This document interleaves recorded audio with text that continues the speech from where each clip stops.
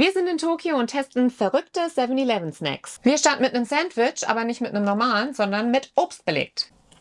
Kann man machen. Schmeckt irgendwie wie Kuchen. Geht. Weiter geht's mit fancy aussehenden Chips. Riecht komisch. Ich hatte gehofft, dass die pink sind. Was ist das? Also sie sind ein bisschen wie Cheetos Oh, und schmecken so süß, süß-sauer. Sauer schmecken sie. Boah. Nee. Als nächstes gibt's ein Dessert. Das ist rote Beete-Paste, Red Bean Paste und Jelly Dumplings. Rote Bohnenpaste. Was habe ich gesagt? Beete. Soll ich zuerst? Mhm. Was sieht ekelerregend aus. Ja, davor. Boah, da habe ich Schiss vor.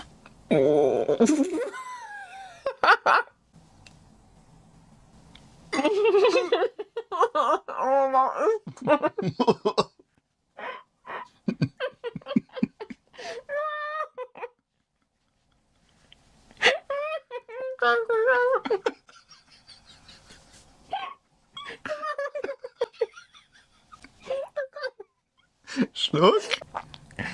Boah, was ist das? Bäh, mir hängt hier alles. Du musst auf jeden Fall so einen Bobbel nehmen. Ja, den Bobbeln den suche ich gerade raus. Also es schmeckt nicht nach viel, aber die Konsistenz. Kann man gar nicht schlucken. Sag ich doch. Schluck jetzt. Boah. Boah, das war richtig krass.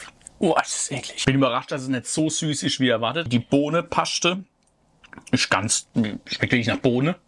Nur dieses komische Glibberzeug. Oh. Als nächstes kommen wir zu so einem milchigen Wasser. Keine Ahnung, ob es wirklich milchiges Wasser ist oder Kokos oder sonst was. Sollen wir es kurz checken vorher? Die süß-sauren Brüste. Quellen über.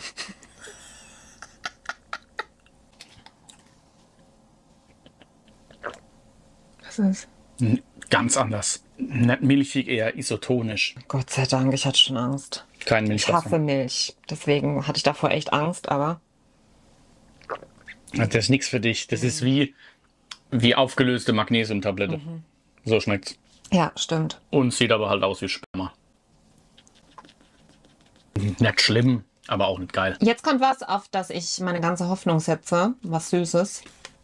Sind so kleine Bonbons und heißen Poppin. Also gehe ich mal davon aus, dass es irgendwie ploppt.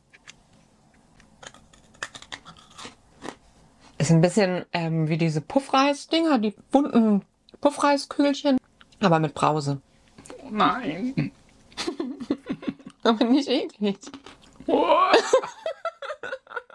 Meins hat nach Cola geschmeckt. Weißt du, an was mich erinnert? Kindheit, diese, diese Brausestange. Ja. Genauso.